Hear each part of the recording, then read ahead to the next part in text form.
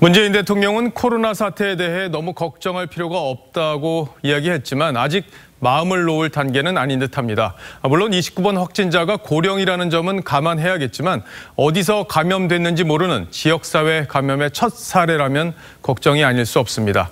정부도 오늘 정세균 총리 주재로 추가 대책을 논의했는데 현장을 연결해서 자세한 이야기를 좀 들어보죠. 최원영 기자. 네, 정부 서울청사에 나와 있습니다. 아, 오늘은 지역사회 감염이 화두였을 텐데 어떤 대책이 논의됐습니까?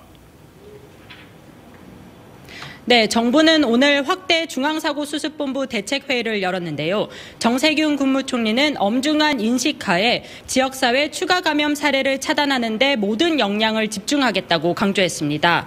먼저 입원 중인 폐렴 환자를 대상으로 코로나19 검사를 실시할 예정입니다. 해외 여행력이 없더라도 의사 소견에 따라 그 감염이 의심되면 적극적으로 검사를 하겠다는 겁니다. 또 기존 중증 호흡기 감염병과 계절 독감 표본 감시 체계에 코로나19 검사를 추가해 지역사회 감염을 조기에 찾아내도록 했습니다.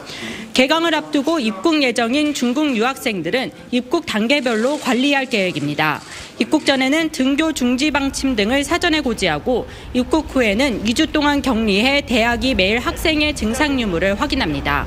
유학생들이 입국하지 않고 중국 현지에서 수업을 받을 수 있도록 원격 수업을 적극 활용하거나 아예 휴학을 권고하는 방안도 논의됐습니다.